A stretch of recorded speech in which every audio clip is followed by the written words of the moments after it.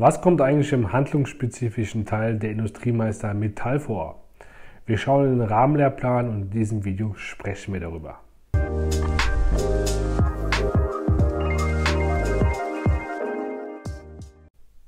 In einem der vorherigen Videos haben wir über den Rahmenplan der Industriemeister mit der fachrichtungsübergreifenden Basisqualifikation gesprochen. Worum geht es denn jetzt eigentlich bei der handlungsspezifischen Qualifikation? Das ist der sogenannte Teil 2 und der Name sagt es schon ein bisschen, da geht es um das handlungsspezifische. Das heißt, in diesem Video sprechen wir über den Industriemeister Metall. Das heißt, es geht um die Fachrichtung Metall. Du wirst wahrscheinlich wissen, es gibt verschiedene Fachrichtungen. Industriemeister Elektrotechnik, Industriemeister Mechatronik, Industriemeister Chemie, Pharmazie, Textil, Kraftverkehr, Schutz und Sicherheit und, und, und, und, und. Und ja, jeder Industriemeister ist so ein bisschen anders. Und ja, was erwartet sich beim Metall? Das schauen wir uns jetzt an und dann gucken wir direkt mal in den Rahmenplan rein. So, vor uns siehst du jetzt den Rahmenplan. Da steht das Rahmenplan für die handlungsspezifische Qualifikation. Und hier siehst du noch das Thema Fachrichtung Metall. Wo findest du eigentlich so einen Rahmenplan? Da habe ich dir mal hier die, die Webseite aufgemacht von dem DIHK-Shop. Das heißt, du siehst hier oben meinen Link www.diak-verlag etc. etc. Du musst das einfach nur googeln und dann kommst du schon dahin. Und zwar ist das hier geprüfte Industriemeister Fachrichtung Metall.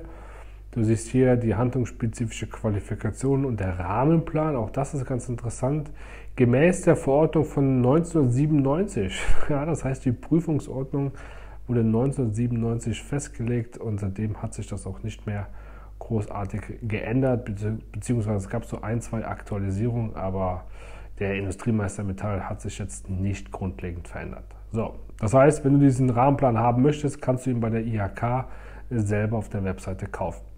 So, gehen wir wieder zurück, schauen uns jetzt mal an, was hier so drin ist und dann gehen wir schon hier auf eine der ersten Seiten im Inhaltsverzeichnis. Ähm, die Basisqualifikation hat einen eigenen Rahmenplan. Nichtsdestotrotz siehst du hier Teil 1, also hier vorne steht das A, das steht dann quasi für Teil 1.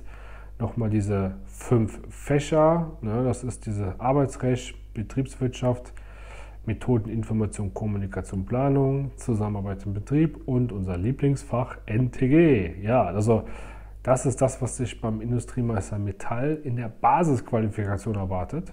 Aber das Dokument, was wir hier vor uns haben, befasst sich mit der handlungsspezifischen Qualifikation. So, wie ist das Ding aufgebaut? Und zwar siehst du am Anfang römisch 1, es gibt die Technik. So, ein Technikfach. Und bei dem Industriemeister Metall, das ist jetzt sehr, sehr fachspezifisch für den Metallindustriemeister, hast du das Thema Betriebstechnik, was da so hintersteckt, schauen wir uns gleich mal an. Fertigungstechnik und Montagetechnik. Wenn du jetzt den Industriemeister Elektrotechnik oder Mechatronik oder Chemie oder Pharmazie machen würdest, dann würden hier logischerweise andere Dinge drinstehen. Aber beim Industriemeister Metall hast du genau diese drei Fächer. Dann haben wir noch ein zweites großen Bereich, römisch 2, das ist dann die Organisation.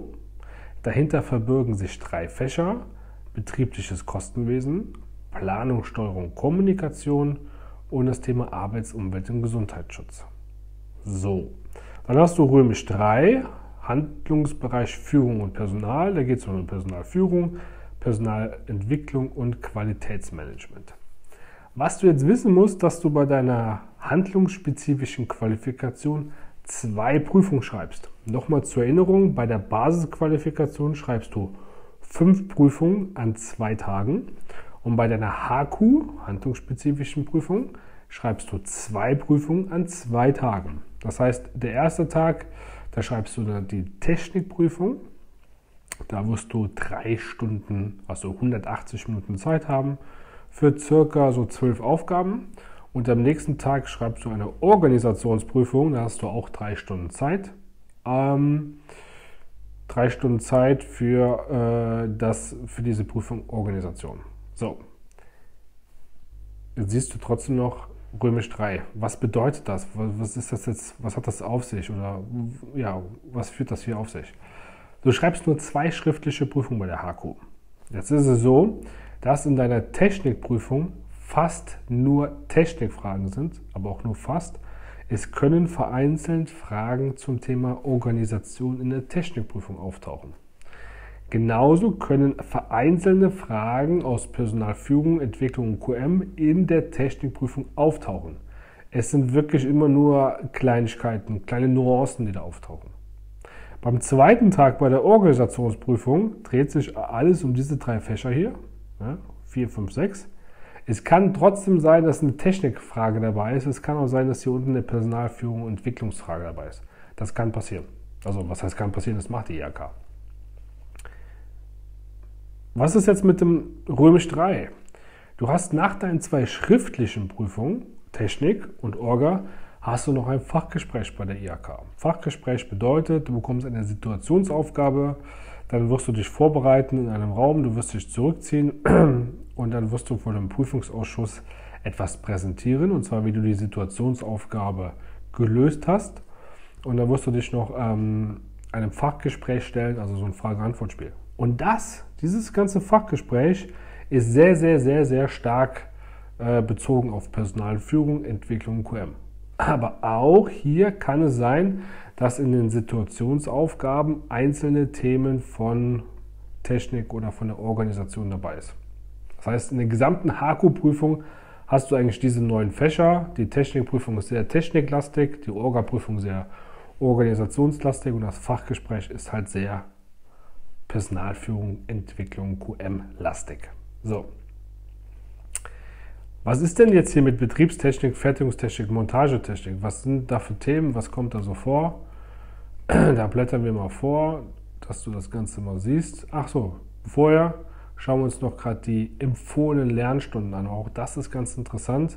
In einem vorherigen Video haben wir gesehen, dass für die Basisqualifikation 410 Stunden empfohlen werden. Das heißt 400 Stunden für die BQ plus die 10 Stunden Lern- und Arbeitsmethodik. Und du siehst hier die HQ, da wird empfohlen 700 Stunden von der IHK. Das heißt, in Summe sind das 1110 Stunden, die da empfohlen werden. Ich habe schon mal gesagt in einem vorherigen Video, wenn du dir einen Bildungsträger aussuchst, achte so ein bisschen darauf, wie viele Stunden der anbietet. Das heißt, wenn der den gesamten Industriemeister für 600 Stunden anbietet, dann ist das sehr, sehr, sehr sportlich. Irgendwie scheint da nicht alles dabei zu sein. Aber das muss letztendlich du entscheiden, mit wem du da zusammenarbeiten möchtest. So, jetzt gucken wir mal gerade rein, was wirklich sehr, sehr spezifisch für die, äh, für die Metaller sind. Betriebstechnik, Fertigungstechnik, Montagetechnik, was kommen so Themen? Also auch hier dieser Rahmenplan hat 120 Seiten, keine Sorge, da gehen wir jetzt nicht durch komplett. Wir geben dir nur mal so einen kleinen Einblick, was, was kommen da eigentlich für Themen drin vor. Das, was du hier zum Beispiel wieder siehst, ist genau wie bei der, bei der Basisqualifikation im Rahmenplan. Du hast so Überschriften 1.1. Hier geht es um Auswahl, Festlegung und Funktionserhalt von Kraft- und Arbeitsmaschinen. Aha, also Kraft- und Arbeitsmaschinen, das ist das Thema hier bei Betriebstechnik, das erste große Thema. Ähm, das heißt, hier geht es um Kraft- und Arbeitsmaschinen, Energieumwandlung, Turbinen. Gucken wir, was gibt es sonst noch so hier. Äh, Motoren, Ottomotor, Dieselmotor, klar, kennst du aus deinem privaten Pkw. Das heißt, falls du da noch nicht so alles weißt, jetzt wirst du als Industriemeister deutlich mehr Informationen bekommen. So. Auch noch Arbeits- und Kraftmaschinen. Gehen wir mal weiter gucken. Das ist ganz interessant. Das ganze Thema Instandhaltung kommt natürlich mit rein. Ne? Das heißt, das Ganze wird hier nochmal ein bisschen vertieft. Ähm, bei der BQ, da ist Instandhaltung im Rahmen von NTG. Laut Rahmenplan gibt es da so ein paar Themen zur Instandhaltung. In der Prüfung habe ich noch nie gesehen, aber ich verspreche dir, bei der HQ wird das Thema Instandhaltung auf jeden Fall drankommen. So, hier haben wir wieder Instandhaltungsmaßnahmen. Was haben wir noch? Äh, Hydraulik, Pneumatik kommt ein bisschen vor. Energieumwandlung. Und dann schauen wir uns mal das Thema Fertigungstechnik an. Was kommt jetzt in Fertigungstechnik? So, was haben wir hier? Fertigungstechnik, der Name sagt es ja eigentlich schon, ne? Fertigungsverfahren. Hier steht schrittweises Verändern der Form- und Stoffeigenschaften. Das heißt, du wirst sicherlich aus deinem Berufsleben oder aus deiner Berufsausbildung wissen, es gibt verschiedene Fertigungsverfahren und hier, da steht es auch schon, wirst du bei der HQ auf einige verschiedene Fertigungsverfahren eingehen. Hier steht schon Umformen, Fügen, Fügen durch Schweißen, durch Löten, durch Kleben, Beschichten von Werkstoffen, Spaden mit, mit, geometrisch bestimmten Schneiden, Sparen mit geometrisch unbestimmten Schneiden. Das heißt, das ganze Thema wird hier ein Bestandteil sein.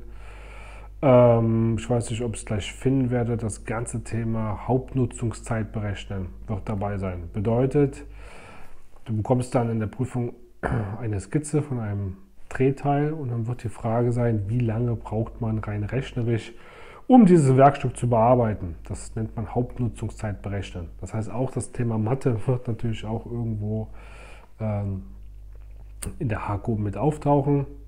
Ganz Thema Werkstofftechnologie, ne? das heißt, du wirst auch mit dem Tabellenbuch Metall arbeiten. Was ist eigentlich Stahl? Was ist Nicht-Eisenmetalle? Ja, das Kohlenstoffdiagramm wird ein Thema wird sein. CNC, NC-Programmierung wird ein Thema sein ähm, flexible Fertigungszelle. So, was haben wir noch so Interessantes? Dann kommen wir schon zum Thema Montagetechnik. Okay, hier geht es um ganz viele Sachen wie, was ist eigentlich eine Erzeugnisgliederung, wie sind technische Unterlagen und Zeichnungen aufbereitet, Stücklisten, Mengenstücklisten, Baukastenstücklisten. Das kommt hier vor. Ähm, genau, bei der Montage ist natürlich auch interessant, welche Fertigungs- oder Montage- Organisation du hast. Ist es eine Reihenmontage, Straßenmontage, Taktstraßenmontage? Das sind natürlich alles interessante Themen, die sehr, sehr spezifisch auf den Industriemeister Metall gehen. So, was haben wir noch hier? Super interessantes. Ja, CE-Kennzeichnung. Wir sind ja beim Industriemeister Metall, das heißt, wir reden ja auch in der Industrie um Maschinen. Und bevor einfach eine Maschine ähm, in Betrieb genommen werden darf, gibt es da so ein paar es gibt gewisse Maschinenrichtlinien aus der Arbeitssicherheit, die zu berücksichtigen sind. Und hier kommt schon das ganze Thema CE-Kennzeichnung. Es gibt auch dieses GS, geprüfte Sicherheit, Kennzeichnung. Darauf wird dann auch beim Industriemeister Metall eingegangen. Dann kommen wir schon zum Thema Handlungsbereich Organisation. Das heißt, hier hast du die drei Fächer betriebliches Kostenwesen, Planung, Steuerung, Kommunikation, Arbeits- und.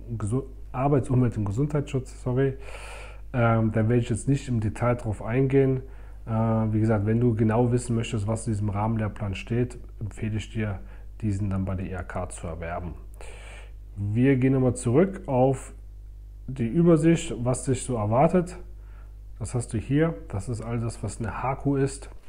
Ähm, ja, also was nimmst du bitte mit aus diesem Video? Die HQ ist vom Umfang deutlich, deutlich mehr als die Basisqualifikation. Die ist mit 400 Stunden angesetzt, die HAKO ist mit 700 Stunden angesetzt. Der Industriemeister Metall hat hier ganz spezifisch, das sind hier diese drei, das sind die, die nur beim Metall drin vorkommen. Und hier unten die, die 4, 5, 6, 7, 8, 9, diese Fächer, die gibt es dann aber in allen anderen Industriemeister-Fachrichtungen auch. Heißt, wenn du Industriemeister Elektrotechnik machst, hast du auch die Fächer. Machst du Industriemeister äh, Mechatronik, hast du auch diese blau markierten Fächer. Was man dir schon sagen kann, auch wenn das hier deutlich mehr Stunden sind, gebe ich euch schon mal ein Versprechen und das Versprechen lautet, es wird einfacher. Das heißt, du hast bei der Basisqualifikation angefangen zu lernen, du bist im Lernen drin, das heißt, die HQ wird einfacher. A, weil du fit bist im Lernen, du hast das Lernen gelernt. B, hast du äh, mit aller Voraussicht schon Erfahrung aus deiner Berufsausbildung, aus deinem Beruf. Das heißt, du wirst auf deine Berufserfahrung zurückgreifen können. Und dritter Punkt ist, sehr, sehr viel wiederholt sich. Ja, das heißt, du hast einen Ausbilderschein gemacht, ALVO. Da hast du, bist du mit Gesetzen umgegangen. Bei Arbeits-, Umwelt- und Gesundheitsschutz geht es auch wieder um Gesetze. Ja, das ist Wiederholung. Du hast beim Ausbilderschein das Thema Umgang mit Menschen und Führung gehabt. Dann hast du das Ganze in der BQ im ZIP gehabt, Zusammenarbeit im Betrieb. Und auch hier kommt schon wieder das Thema Personalführung. Das heißt, auch das ist immer und immer wieder wiederholend und ist eigentlich ganz gut, äh, dass das nicht alles neu ist, sondern dass es eigentlich aufeinander aufbaut und ganz, ganz angenehm zum Lernen.